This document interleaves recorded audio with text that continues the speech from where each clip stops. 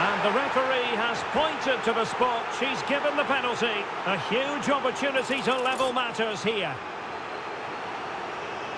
Well, there might have been a case for a yellow card. And a goal! He was composure personified, and he's done his job from the spot. Well, here we see it again. The keeper tries to read the penalty, but in the end, she just makes no effort whatsoever.